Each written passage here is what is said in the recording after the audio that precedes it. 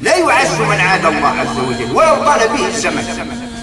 كل من عاد الإسلام وعاد المسلمين فإنه هذا لا يعز. سوف يأتي يوم يذل وقد يكون ذليلا في نفسه عزيزا في ظاهره. وقد يكون العكس. يعني عزة الإنسان تنبع من الداخل ولا تنبع من الخارج. فكم من إنسان تراه ربما جنرال وتراه ربما رئيس جمهورية ولكنه ذليل في نفسه محتقر في نفسه. ولو كانت على أكتافه النياشين ولو كان عنده صولجان الحكم ولكنه ذليل. وكم من إنسان تراه فقيرا ضعيفا مستضعفا عزيز النفس عزيز في نفسه. فقد يكون الإنسان مسجونا ولكنه حر.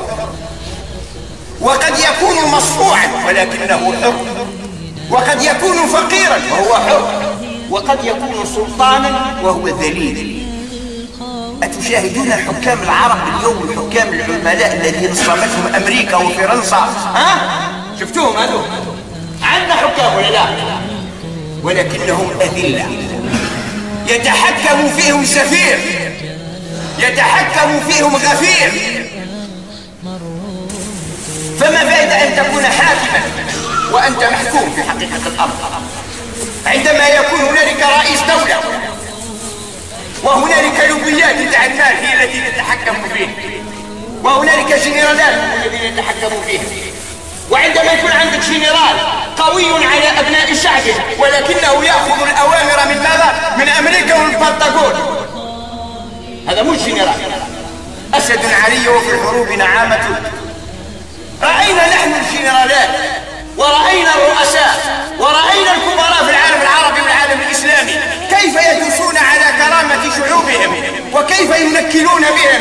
وكيف يدوسونهم؟ ولكنهم ماذا؟ عند الغرب وعند فرنسا وعند كذا تجدهم ماذا؟ مطأطئي الرؤوس. إذن في الحرية ليس معنى سلطة منصب. لا.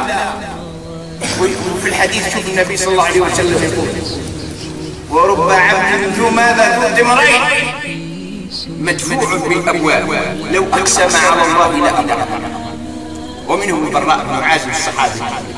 اذا فالعبره ليست بالمنصب. ليس كل إنسان في المنصب فهو حر. قد يكون صاحب المنصب Whoever's new.